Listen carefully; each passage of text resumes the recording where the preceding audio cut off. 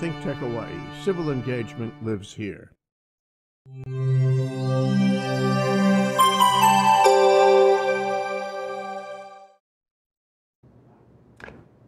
Good afternoon. My name is Ray Tsuchiyama, your host for another great conversation for business in Hawaii, a series that delves into issues, problems, and hopefully successes by small, medium, big business in Hawaii trying to really bring products that are high quality services and to succeed in this economy. Today we have a guest, Andrew Daisuke Stewart, the Showa Law Office in Honolulu. And I chose him today to really have a conversation about something in reverse. What I mean is that for several shows, I've been talking about exports from Hawaii to Japan. And there's many people who want to succeed in that business. Today, however, I want to talk about issues and challenges by Japanese investors in business in the Hawaii economy. And Andrew brings insights since he has a background in Japan. Welcome to the show, Andrew. Oh, thank you, Ray. Thanks for having me. Glad to be here. Yoroshiku onegaishimasu.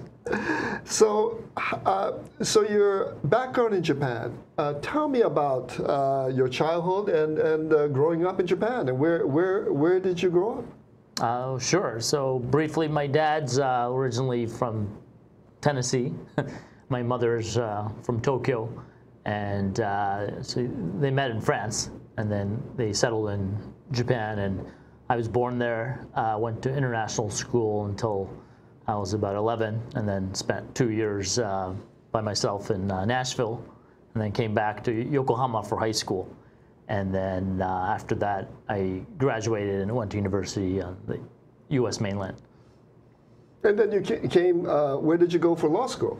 Uh, so I met my wife in college. She's a local girl, so we both uh, came to Hawaii to William S. Richardson School of Law. So you you you've been in law and and um, you're uh, you're a sole practitioner. Uh, am I correct? Uh, right. I've been on my own for about six or seven years now.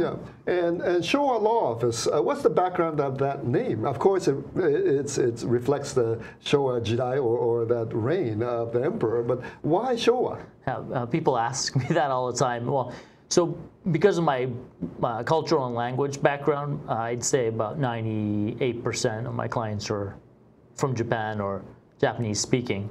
And uh, you know, Andrew Stewart doesn't sound very Japanese, so I needed to find a name for the office that you know, if somebody was looking for a Japanese attorney could immediately see and recognize that you know it has some kind of Japanese connection.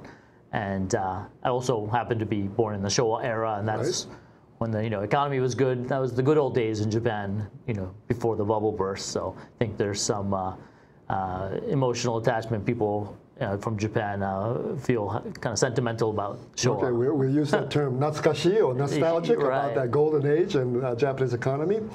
So speaking of the Japanese economy and uh, Japanese interest in Hawaii, uh, one of the driving forces um, be, behind nearly 2 million tourists in Hawaii is that great affection uh, for Japanese um, that, that, they bring to uh, coming here for, uh, as tourists, as visitors.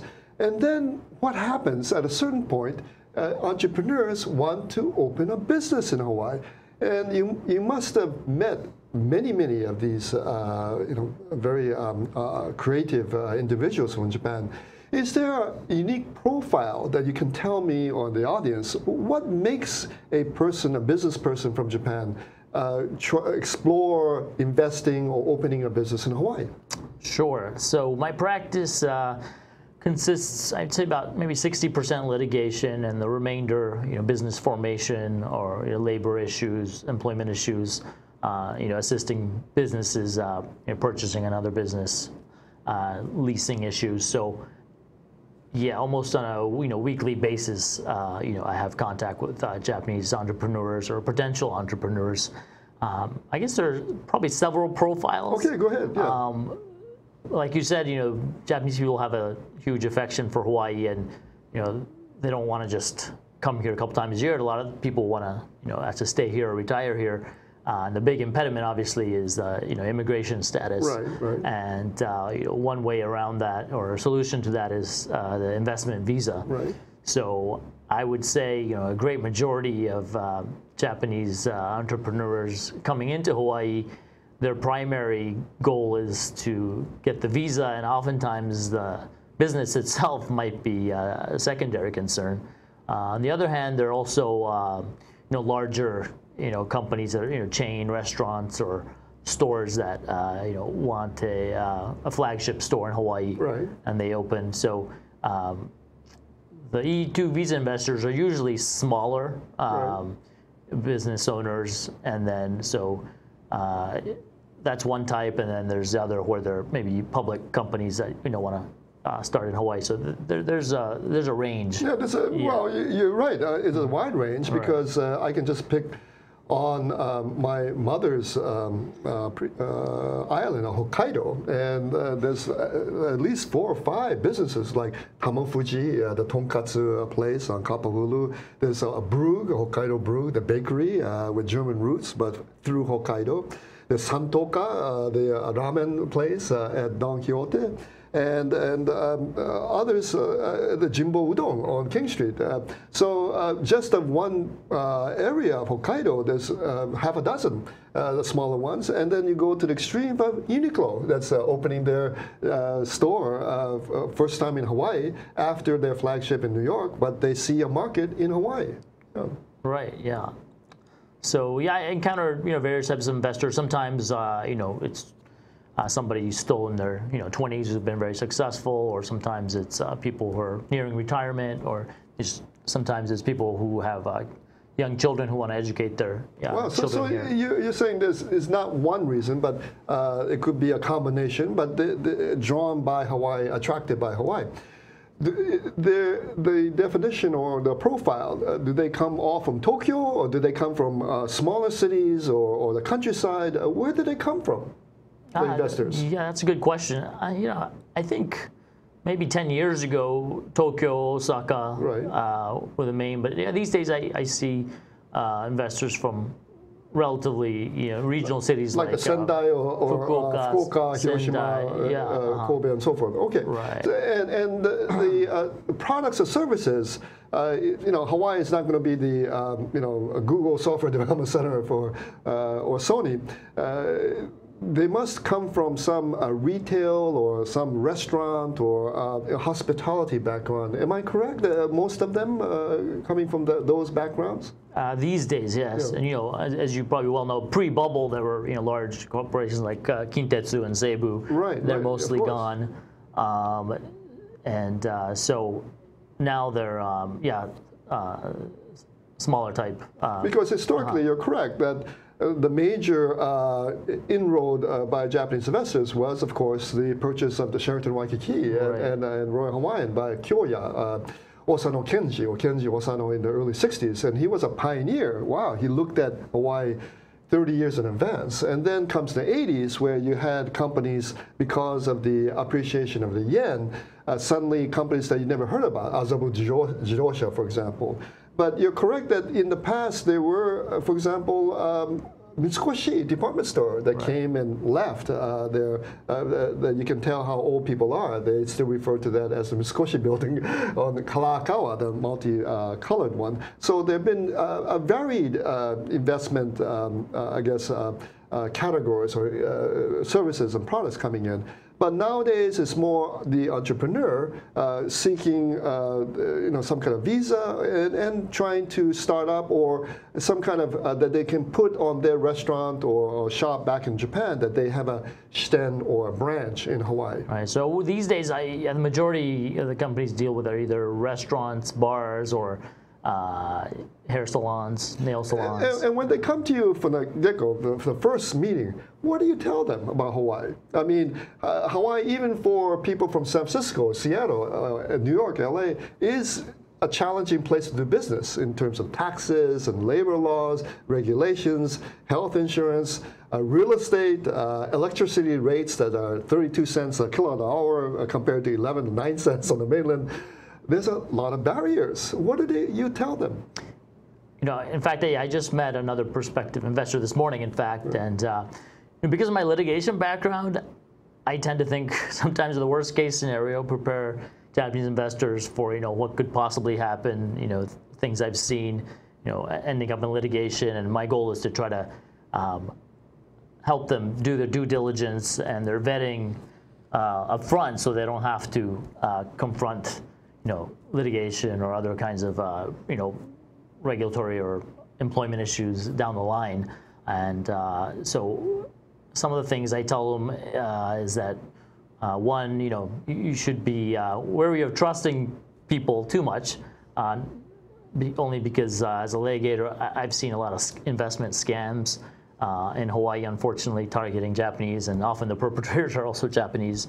And also, I tell them, you know, that don't don't use Japanese common sense or social norms to you know, apply to Hawaii because uh, this is neither neither Japan nor it's not it's part of the United States but not exactly like the mainland, and uh, so you know, they should uh, prepare themselves for things you know being different and. Uh, if they don't, they can be in for a, a big surprise. A big surprise. Right. what percentage of these investors think of just Hawaii as Hawaii, having a business here, or thinking ahead as a bridge, uh, maybe the larger companies, medium and larger uh, size companies, maybe thinking of as a bridge to the mainland, uh, bigger markets like San Francisco, Bay Area, San Diego, LA, or Seattle. Are most people just uh, satisfied with uh, finding success in Hawaii, or are they thinking of uh, finding success here that will ultimately bring them to a bigger market? good question. Uh, you know, again, it varies, but I think uh, for maybe you know roughly 20% of uh, investors, you know, think maybe going into the U.S. mainland market, but uh, the success or you know failure rate for businesses here from Japan is relatively high. So before they can get there, a lot of times they close down or they realize they just want to uh, stay in Hawaii. So it's pretty rare actually to see uh, businesses from Japan come to Hawaii and then you know do well on the mainland unless they're a really large company. Um, and then other issue is you know this is kind of a simple issue, but a lot of uh, people who come to Hawaii come to Hawaii specifically because it's uh, friendly in terms of uh, the language. Right. Um, they don't necessarily have to be fluent in English. But you know, on the other side, on the other hand, that, that's a significant impediment for them to do business in the on the mainland because you know you don't have professionals who can help you who are bilingual, for example, and uh, you know employees maybe who speak some Japanese. So uh, I think, and I think Japanese are famous for studying uh, English in school for 12 years, but then when it comes to actually using it in a business environment, you know, uh, they're uh, 12 years of uh, you know studying doesn't really uh, bear fruit.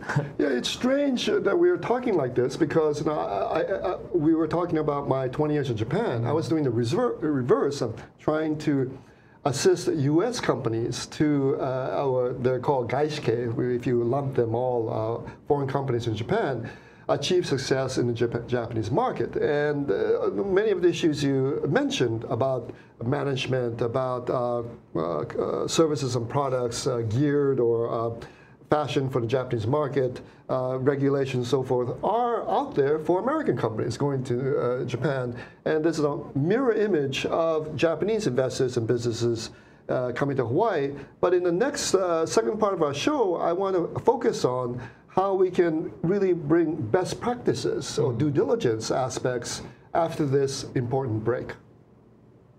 皆さんこんにちは。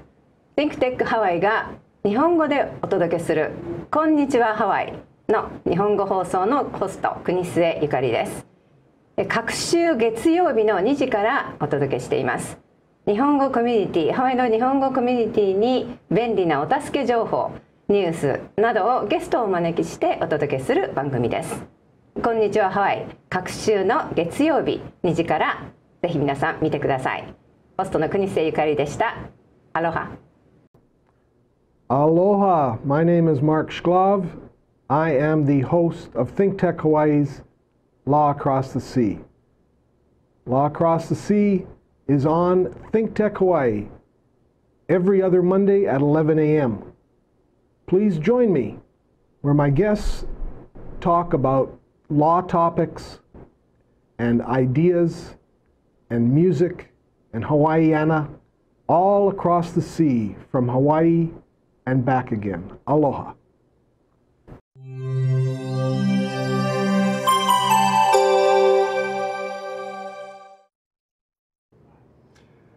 Welcome back to Business in Hawaii with our guest, Andrew Daisuke Stewart of the Showa Law Office.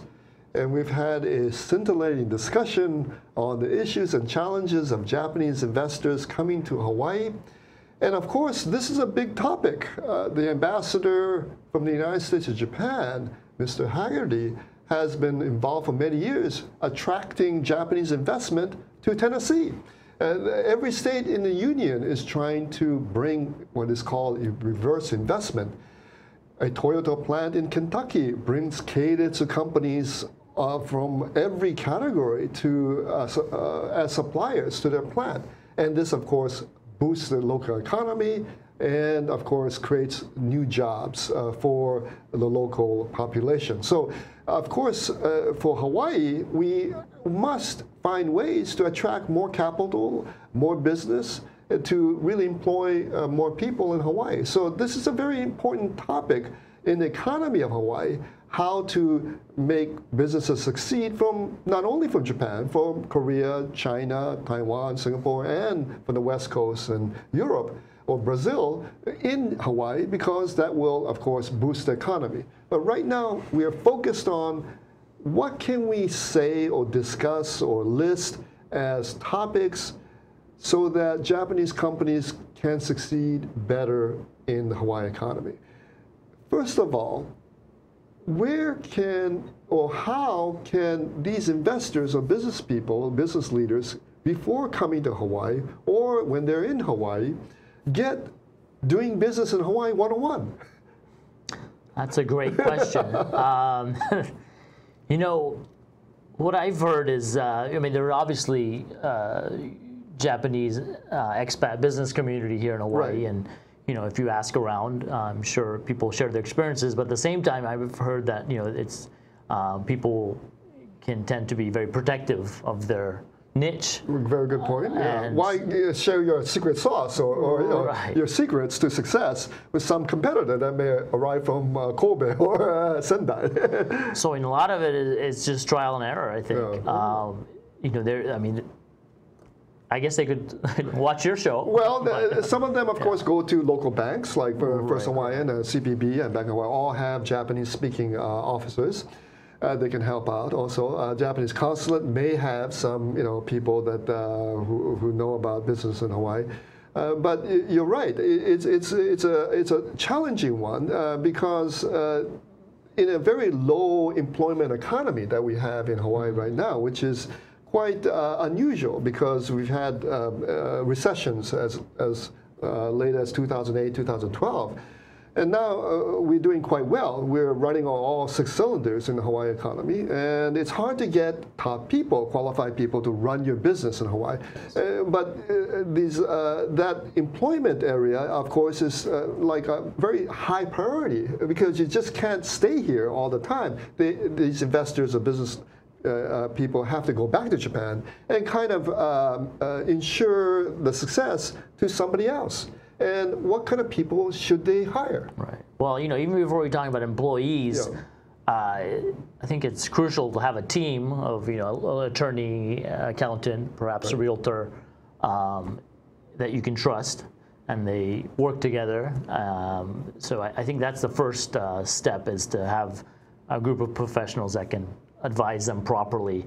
And uh, you know, not not just kind of isolated issues, but try to get a professional who has an understanding of the bigger picture, and uh, they can uh, kind of give you comprehensive advice instead of just on a case by case basis. And they don't, you know, sometimes I see professionals not giving advice unless they're specifically asked.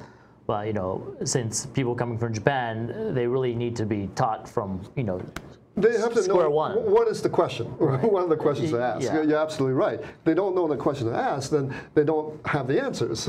Right. that's, that's I think a, a very good uh, area. You know, I've, I've worked with uh, investors uh, from Japan uh, locally, but you're correct that uh, they they need somebody on the ground and who knows uh, who, whom they can trust. You're absolutely uh, right on that. But also somebody that they would allow that person that they hire leeway to really run a business in the Hawaiian style. Uh, you know, employees in a, in a culture and to communicate in their language. I think that that's something that some Japanese investors want to micromanage or think it's the same as Japan how to treat employees or to run a business, and that will uh, invariably uh, snowball into consequences later.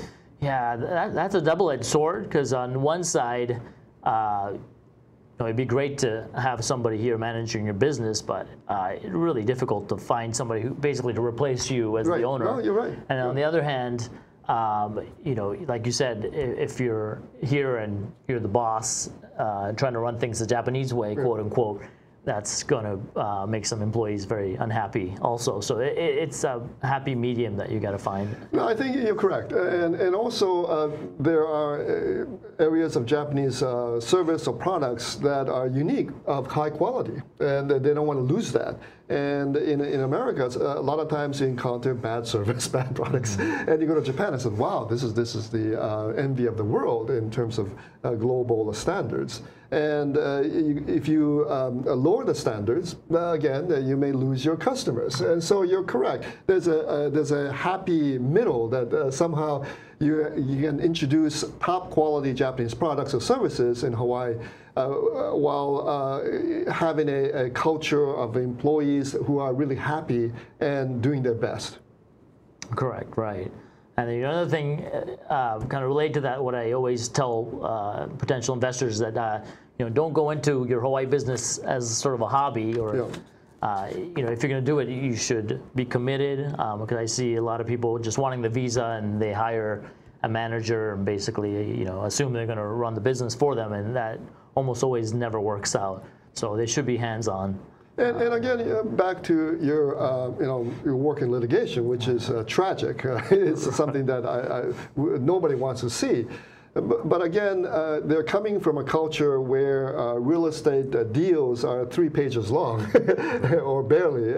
And here you have, uh, you know, dozens and dozens of pages covering every, you know, possibility that may happen or not and the role of lawyers and uh, how real estate uh, um, agents are used and, and the quality of uh, you know uh, of uh, designers and construction in, uh, in Japan are all different in, in Hawaii. Right, and you know, I don't want to talk too much about law, but uh, I think it's important because the Japanese legal system is so different. Um, you know, it's based on a continental, I think, German system.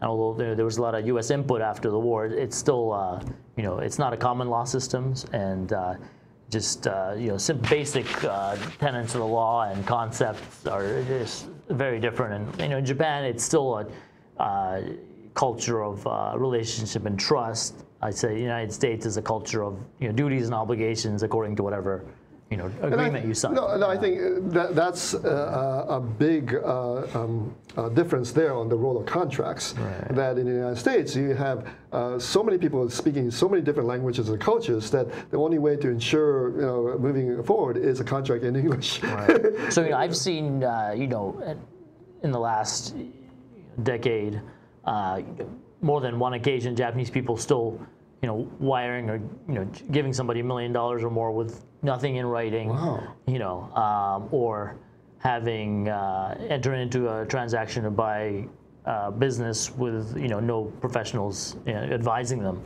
and uh, it's almost always doesn't uh, turn out very well. So. And I know a lot of uh, Japanese people want to, you know, they probably want to conserve uh, their, you know, uh, expenses, and because American lawyers are certainly expensive, but I think you know, spending that money up front can uh, uh, avoid a lot of headaches down the line. Another uh, big thing is to purchase uh, insurance and be uh, uh, well informed and have a good uh, insurance agent because things like you know if you get sued by your employees, that's something you don't even think about in Right, Japan right, hardly, right, but yeah. here it's very prevalent and that doesn't come with your standard liability insurance. You have to get an extra, you you know type of insurance or business interruption insurance.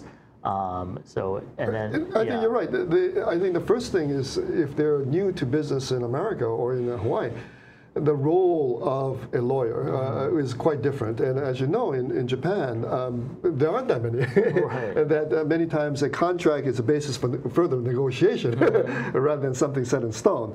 And so it, it is a very different world when they come here. But again, uh, if I ask the question, you know, two, three years, five years from now, do you see uh, you know, no more of these uh, Japanese vessels coming to uh, Hawaii from Japan? The answer is they'll keep on coming. Am I correct? I hope so. Although um, I was talking to uh, one client of mine who ran a successful business here and went back to Japan to take care of the elderly parents. right. And I think you and I talked about this off camera. You know, Japan has an aging population, Right. and you know he made a very good point that a lot of the tourists who come here. Uh, they come with like three generations, and the grandparents kind of sponsor the trip, Oh, and the you know grandkids and the kids come. But now those that baby boomer generation, you know, they're getting ill or they're Yeah. you know uh, can't move around or travel. So you know his point was that we shouldn't Hawaii shouldn't take Japanese uh, Oh, visitors for granted, and that in the next five or ten years that those numbers can dramatically uh, drop. So uh, I'm definitely uh, you know on my toes and definitely not assuming that it's going to continue. And uh, yeah, I, I think Hawaii needs to diversify. I mean, we don't know what's going to happen. Japan's in uh, you know real transformation right now in many ways. So. Uh, we Well, ironically, yeah. you know, i- i- this year may be the best year in many, many years, Mm-hmm. maybe uh, close to 2 million. It was 2.3 in 1998, and ever since then it's been up and down uh, from that time. Uh, but uh, you have a very good point uh, that uh, the savings rate among all the Japanese is, is the highest in the world. but the economy with the Tokyo Olympics is still moving ahead. And Japanese young people, you know, they're not interested in traveling, Yeah. or they don't have the money. So uh, I think now they travel domestically, or maybe go to you know Korea or Vietnam or, Shanghai. yeah, right, or So, nearby, yeah, cheaper places, Right. yeah. yeah. Uh, you, you may be right, but uh, I think if we can uh, make Hawaii um, a place where the investors and so forth can be successful, this will draw even more people here from Japan and continue the affection. Well, Yeah. the other issue I think is federal, you know, rules and regulations about immigration or banking Yeah. laws. It's you know making it much more difficult to transfer money or even come into the country without you know. Well, that's a, I yeah. think that's a whole no- another topic, and we are at the end of another show, Business in Hawaii. Thank you so much, and thank you, Andrew, for your input insights. This is Ray Tsuchiyama.